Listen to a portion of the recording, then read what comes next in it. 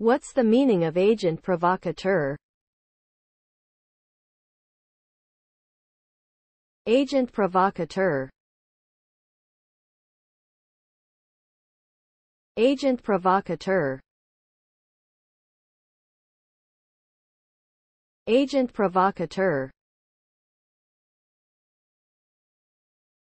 Agent provocateur Agent provocateur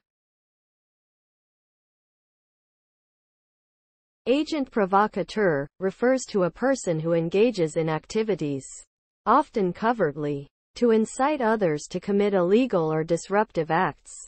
This term is commonly used in the context of law enforcement, where undercover agents may pose as agitators to infiltrate and disrupt criminal organizations or social movements. The ultimate goal of an agent provocateur is to undermine or destabilize the target group or organization, leading to their arrest, conviction, or downfall. In short, an agent provocateur is a tactic used to provoke and manipulate individuals or groups towards unwanted behavior or actions.